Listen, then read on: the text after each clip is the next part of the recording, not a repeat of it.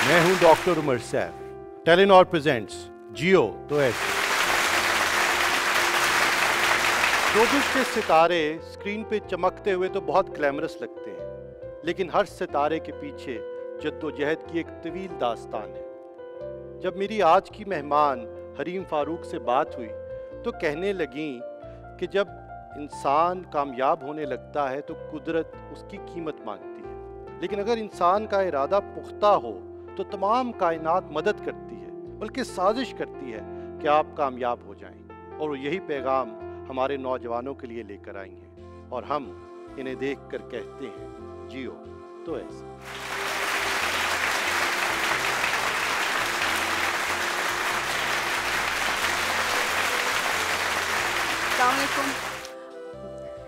Doctor साहब बहुत बहुत शुक्रिया, आपका बहुत काइंड इंट्रोडक्शन था। आज मैं यहाँ पे जब आई और मैंने बाकियों की टॉक सुनी तो मुझे लगा कि शायद मैंने ऐसा क्या किया है ज़िंदगी में जिसकी, जिसके बाइस मैं यहाँ पे खड़ी हो, होकर आप लोगों से बात कर सकती हूँ। आप सबको सलाम है। जितने भी आप लोगों ने यहाँ पे टॉक्स की हैं they were brilliant and they were inspiring a round of applause for every one दिल से। मेरे पास ज़्यादा कुछ तो नहीं है, मेरा मानना है। मैंने सोचा मैं क्या बात करूँगी ऐसी जो लोगों को कुछ, उनकी ज़िंदगी में कोई फ़र्क पड़ेगा, कोई असर लाएगा। तो मैंने कहा, मैं अपनी जर्नी के बारे में बात करती हूँ। मैंने सोचा, ऐसा क्या था जो मुझे मुझे पुश करता था, कहता था कि मैं करूँगी? ये मैं हूँ। This is me this is when I started this is the right exact time जब मैंने सोचा था कि मैं एक्टर बनूँगी। मुझे एक्ट्रेस बनना है, मुझे हीरोइन बनना है। लेकिन सबने ये देखा, सबने कहा, नहीं, ऐसा नहीं हो सकता। तुम नहीं बन सकती हो। ये मैं एक बात बता दूँ, मैं तब भी अपनी फेवरेट थी, वैसे आपस की बात है। आज भी अपनी फेवरेट हूँ। वज़न के बारे में नहीं बात करूँगी बॉडी शेमिंग के बारे में बात नहीं करूँगी। बॉडी शेमिंग के बारे में अगर आपने मेरे तासरात जानने तो आप गूगल पर जा सकते हैं। मैं बात करूँगी कि जब मैं इस तरह की थी, इस फिजिकलिटी की थी तो लोगों ने लेबल किया, कहा कि तुम हीरोइन नहीं बन सकती हो। ठीक है, तुम्हें एक्टिंग आती है, करना चाहती हो तो एक काम करो, तुम अपना शौक पूरा कर लो और बस फिर उसके बाद शादी कर लेना। यही होता है, शक्ल तुम्हारी प्यारी है, थोड़ा सा वज़न कम करना होगा और फिर शादी हो जाएगी। लेकिन मुझे तो शौक था एक्टिंग करने का और मैं जानती थी मुझे एक्टिंग आती है। और उस पर सोने पर सुहागा, मेरे माँ बाप, जिन्होंने सारी उम्र एक ही चीज़ सिखाई कि अपने पे यकीन रखो। अपने पे यकीन रखो, अगर तुम जानती हो कि तुम कर सकती हो तो तुम करोगी। इसी सोच को लेके मैं आगे बढ़ी और मैंने कहा, मैं ये करूँगी। थिएटर किया, बहुत सारा, बहुत ऐसा टाइम मिला कि बहुत अच्छा इतफाक़ हुआ कि अनवर साहब के साथ थिएटर करने को मिला। मुझे लगा, मैं अपने आप को एजुकेट कर रही हूँ, बहुत मज़ा आया अपने स्किल्स पॉलिश कर रही हूँ, ज़बरदस्त। फिर, जब मैं टीवी में जाने लगी मेन स्ट्रीम में जाने लगी तो वहाँ पर मेरा एक्सीडेंट हो गया, मेरा कार एक्सीडेंट हुआ, जिसमें मेरी राइट बाजू जो था वो टूट गया। डॉक्टर्स वर नॉट सर्टन कि इसके बाद मैं अपना बाजू यूज़ कर भी सकूँगी कि नहीं कर सकूँगी। टू बी वेरी ऑनेस्ट मैं बिल्कुल उम्मीद हार चुकी थी और मैं सोच चुकी थी कि शायद अब इतना ही था, यही मेरा ख्वाब था और यही मेरा शौक़ था, इसके बाद आगे कुछ भी नहीं है। लेकिन फिर अल्लाह की करनी ऐसी हुई कि मेरे बचपन के बहुत प्यारे दोस्त, Imran Raza Kazmi who is already a producer उन्होंने मुझे कहा कि मेरे साथ पार्टनर करो और प्रोडक्शन में आ जाओ। Let's be partners we been together for we we've known each other हमारा बहुत अच्छा ट्रस्ट है, बहुत अच्छी केमिस्ट्री है तो तुम प्रोडक्शन में आ जाओ। दैट गिव मी होप मैंने कहा, ये मेरा प्लान था आगे जाके दस साल बाद, लेकिन ये मैं अब कर सकती हूँ तो why not let's do it जब मुझे होप मिली तो कहते हैं ना, जब उम्मीद मिलती है तो सब कुछ खुद खुद ब खुद ठीक होने लगता है और कुछ ऐसा ही हुआ मेरे साथ।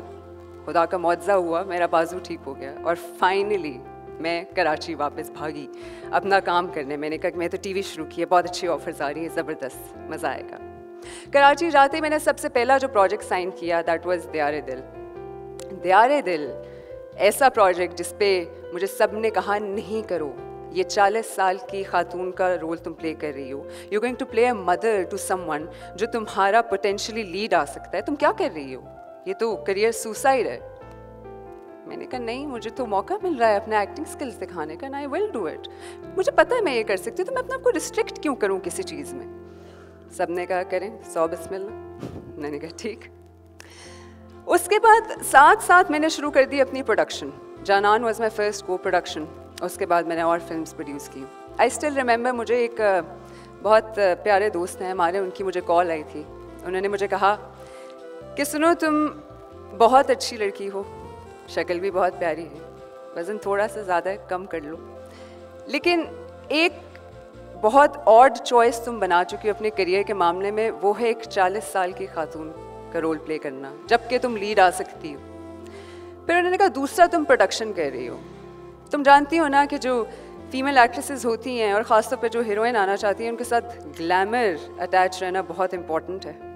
तुम कहाँ इन कामों में पढ़ रही हो? ये मर्दों के काम हैं। ये बिज़नेस वाले काम हैं। ये तुम्हारा ग्लैमर फैक्टर तुमसे छीन लेंगे।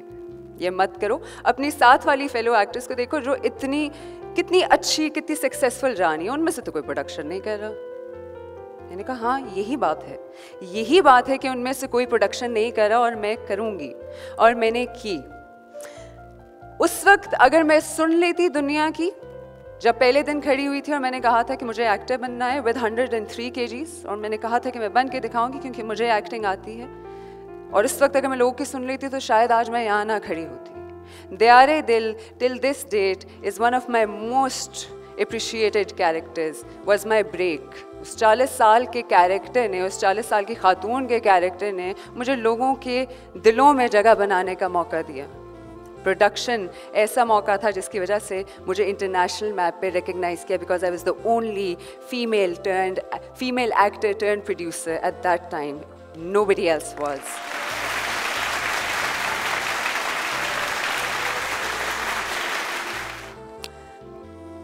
मेरा मानना ये है कि ज़िंदगी में बहुत सारे लोग आपके पास आएँगे और आपको कहेंगे कि हम तुम्हारा भला चाहते हैं, ये मत करो।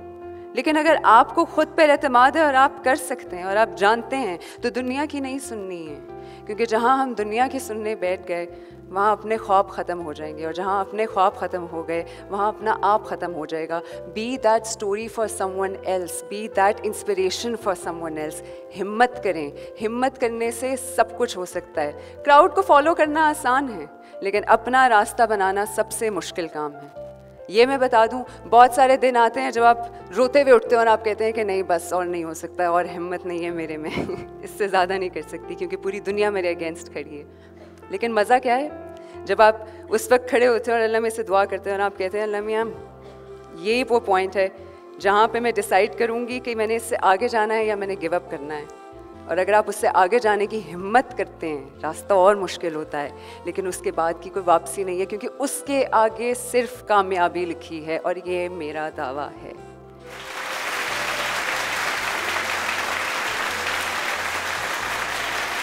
लेकिन एक चीज़ बता दूँ, सुनने में बहुत अच्छा लगता है, कहने में और भी आसान लगता है, लेकिन करने में सबसे मुश्किल है। न डर हो जाएँ। You'll be have you'll have to be stronger you'll have to be far more stronger than other people you'll have to work harder than other people but do it क्योंकि हार के आगे जीत है। शुक्रिया।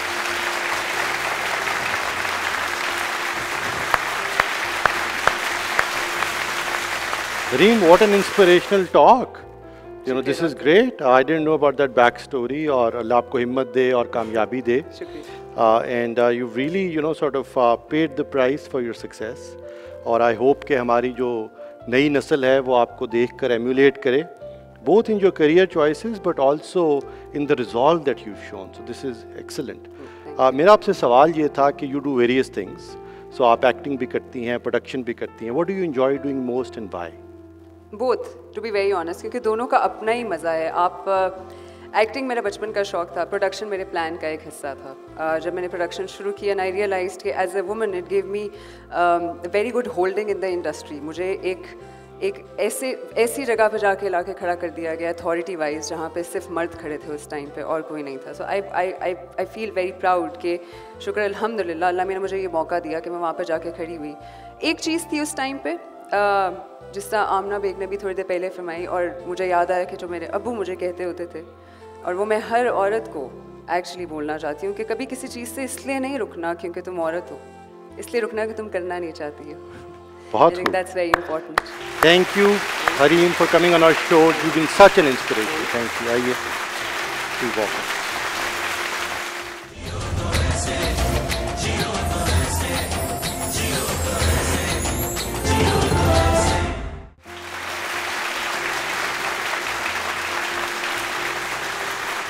जब मुआशरे में जुल्म बढ़ जाता है तो इनकलाब शेर व शायरी में पनाह ढूंढता है। ढोल की थाप पे सांस लेने लगता है और मौसीकी हथियार बन जाती है। देखेंगे, लाजिम है कि हम भी देखेंगे। सरफरोशी की तमन्ना अब हमारे दिल में है। देखना है ज़ोर कितना बाजुए कातिल में है। ऐसे दस्तूर को ऐसे दस्तूर को मैं नहीं मानता, मैं नहीं जानता। सुनने में तो अल्फाज हैं, लेकिन जब मौसीकी में ढल जाते हैं तो हथियार बन जाते हैं। हमारे आज के मेहमान, डॉक्टर तैमूर रहमान लम्स में तारीख़ के प्रोफेसर हैं और इनकलाबी मौसीकी की तारीख़ और फ़न दोनों समझते हैं और हम इन्हें देख कर कहते हैं, जियो तो ऐसे।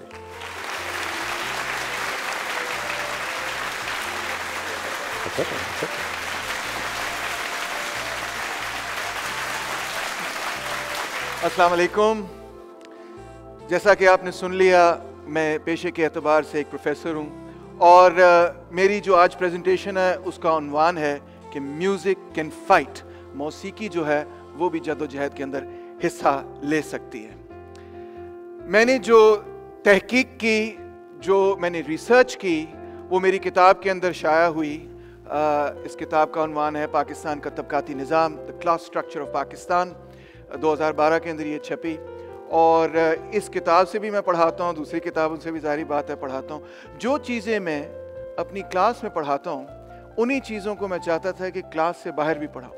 मगर क्या ज़रिया हो सकता है? किस तरह मैं लोगों तक पहुँच सकता हूँ? और कुछ ऐसे ज़रिए से पहुँचूँ, कुछ ऐसे तरीके से पहुँचूँ कि लोग लुत्फ अंदोज भी हों इंजॉय भी करें और सीखें भी।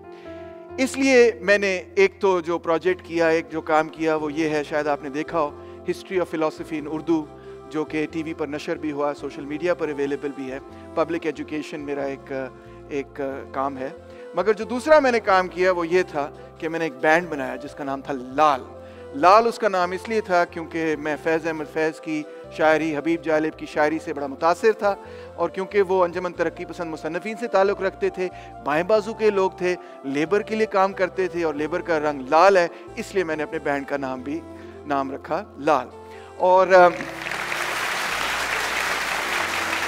2006 के अंदर, पाकिस्तान के अंदर जमहूरीत की हमायत में एक जब तहरीक उभरी तो हमने जो उस वक्त गीत गाए और जो एल्बम बनाई जो कि जियो ने ही लॉन्च की, उस एल्बम का नाम था उम्मीद सहर की बात। सुनो फैज़ अहमद फैज़ के वो अल्फाज थे।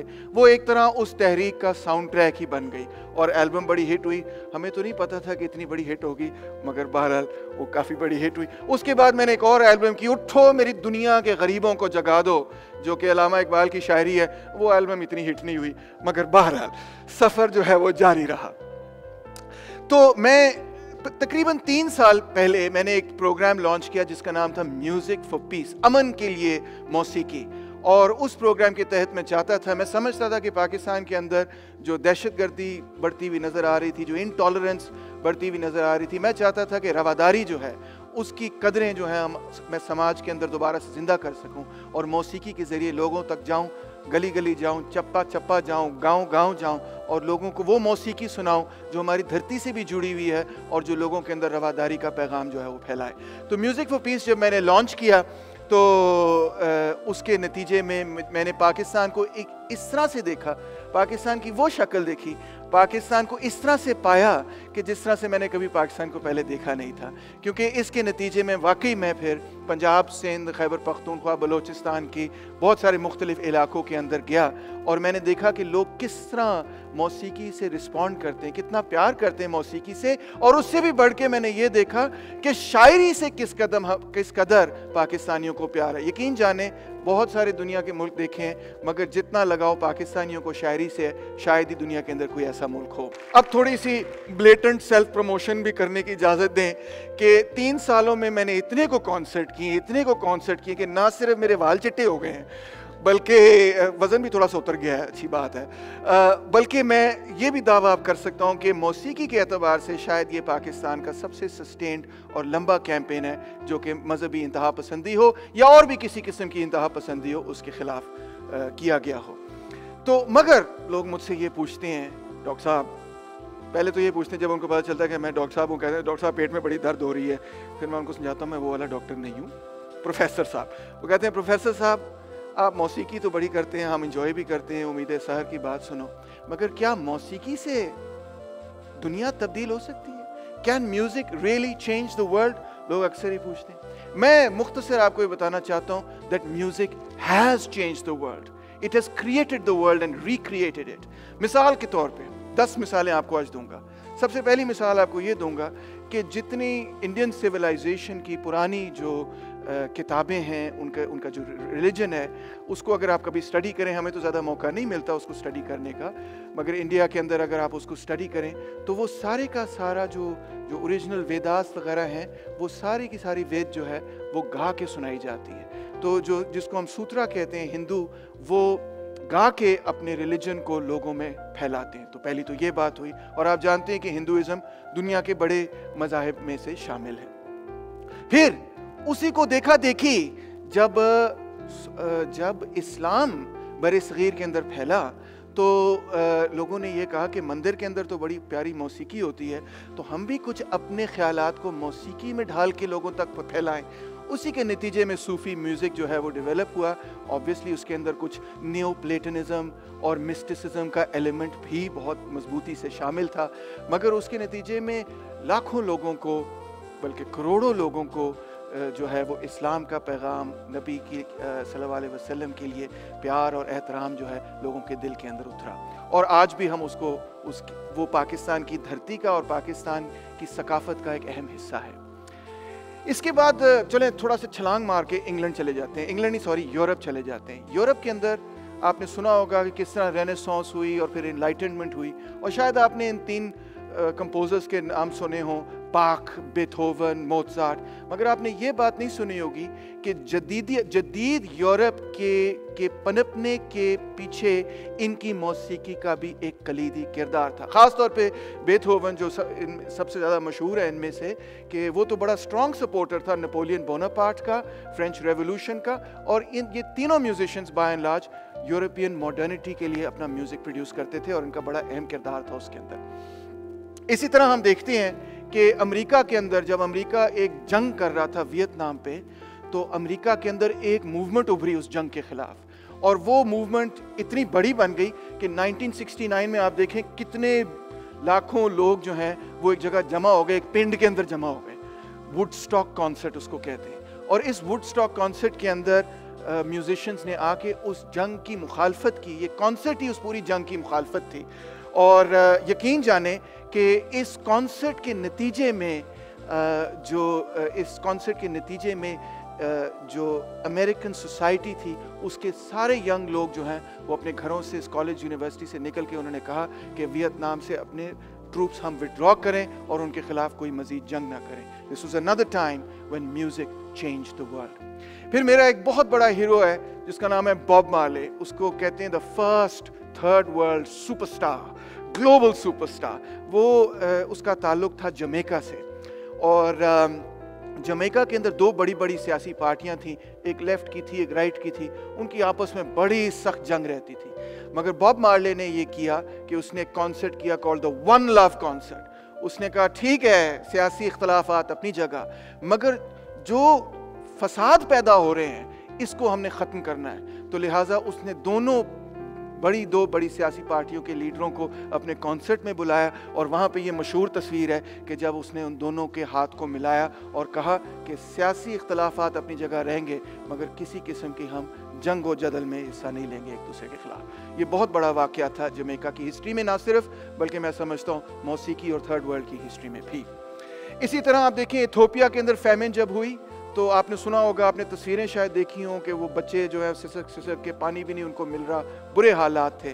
तो तो इंग्लैंड, यूरोप, वेस्ट के जो बड़े बड़े आर्टिस्ट थे, उन सबने ये फैसला किया कि हम एक बड़ा सा कॉन्सर्ट करेंगे, उसमें जितने सारे पैसे बनेंगे, उस सारे के सारे हम इथोपियन लोगों को दे देंगे। और उन्होंने ये मशहूर कॉन्सर्ट किया लाइव एड कॉन्सर्ट, जिसके नतीजे में उन्होंने 140 मिलियन डॉलर्स उस ज़माने के 140 मिलियन डॉलर्स आज तो आप कहेंगे कुछ भी नहीं से मगर उस ज़माने में 140 मिलियन डॉलर्स तो बहुत ज़्यादा थे।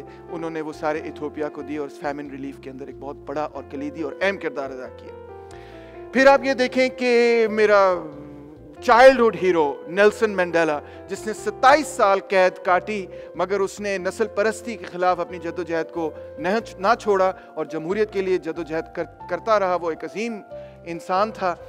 तो उसके लिए पूरी दुनिया के अंदर एक तहरीक थी। उस तहरीक का नाम था फ्री नेल्सन मंडेला तहरीक।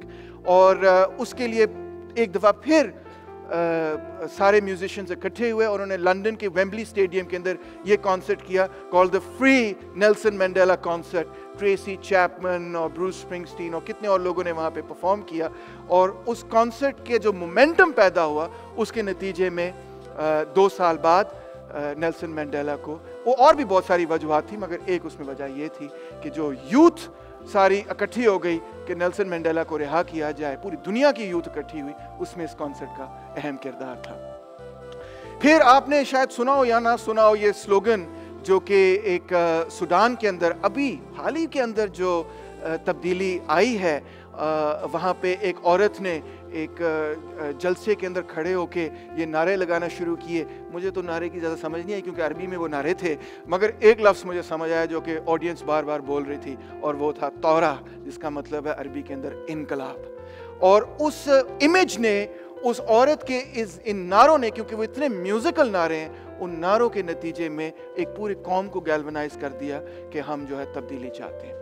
इसी तरह एक और वाक़ पाकिस्तान के अंदर भी आपने देखा होगा कि किसी ने नारा लगाया सरफरोशी की तमन्ना अब हमारे दिल में है। देखना है ज़ोर कितना बाजू कातिल में है।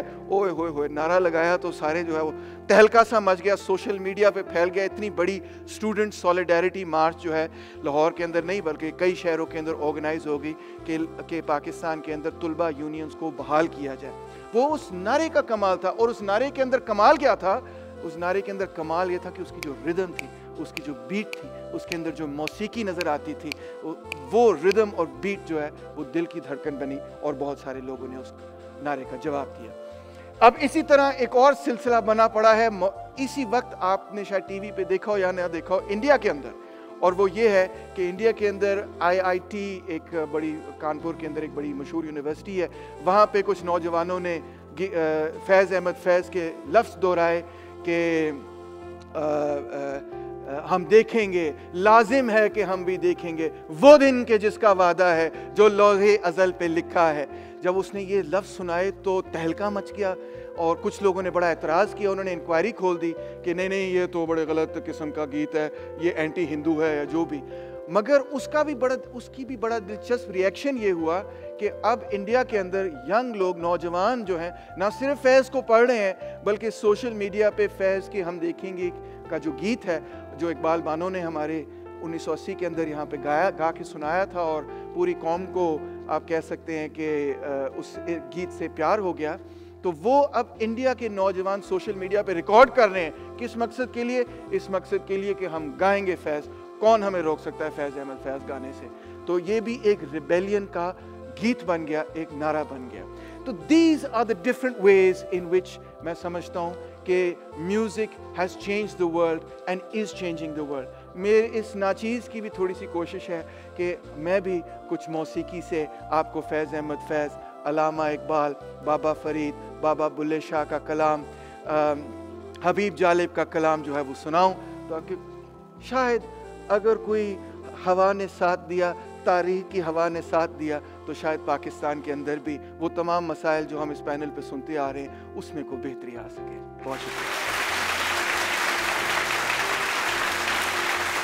Taimur doctor Taimur ji.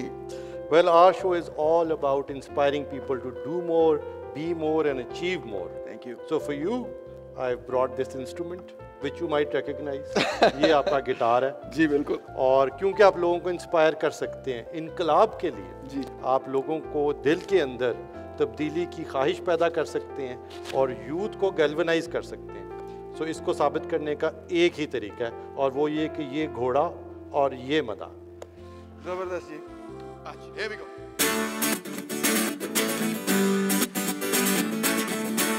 ज़ोर से क्लैप करेंगे तो फिर मज़ा आएगा।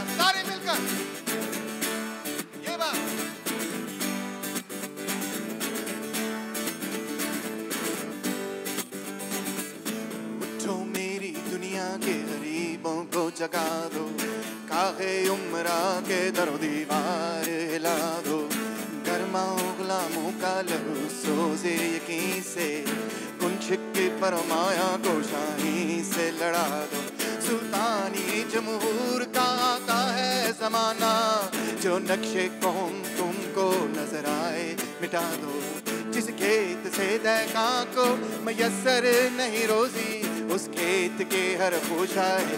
गंदम को चला दो। ओ, उठो मेरी दुनिया के गरीबों को जगा दो। उठो मेरी दुनिया के गरीबों को जगा दो। उठो मेरी दुनिया के गरीबों को जगा दो। उठो मेरी दुनिया के गरीबों को जगा दो।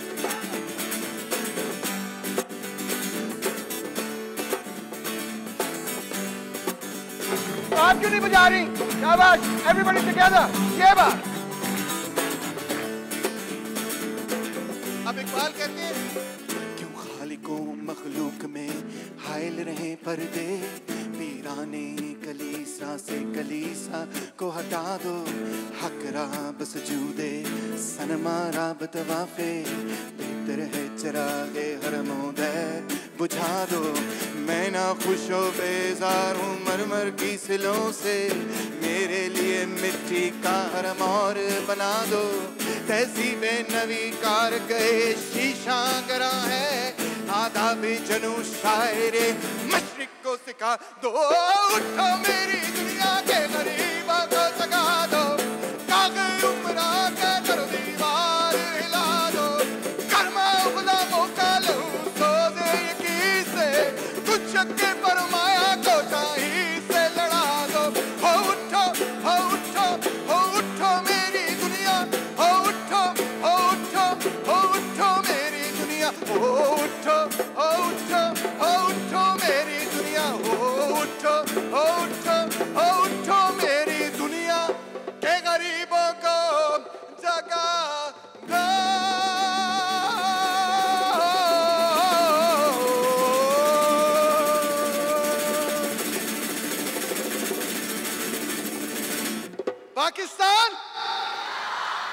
देखा ना, अब इज्तमाहीत का अंदाज़ा हुआ जो मौसीकी से पैदा हो सकती है।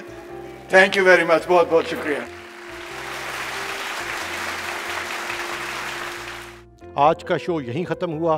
उम्मीद है this show has inspired you to do more be more and achieve more बल्कि मोर से भी ज़्यादा। टेलीनॉर प्रेजेंट्स जियो तो ऐसे